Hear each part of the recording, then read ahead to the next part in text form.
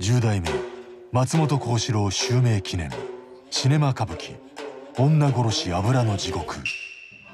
油問屋の宝刀息子与兵衛は借金のため親からも金を巻き上げるすさんだ生活を送っていた。望み通り出てってやらい。すれ違う情愛届かぬ思いの果て与兵衛の心に一瞬の闇が取り付いた。300年の時を経て語り継がれる若者の孤独と狂気の物語を未だかつてない鮮烈な映像で描き出す。